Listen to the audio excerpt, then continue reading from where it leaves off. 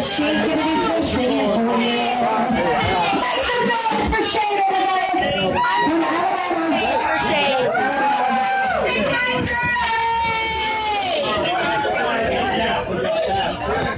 All right. I'm a big Shane fan.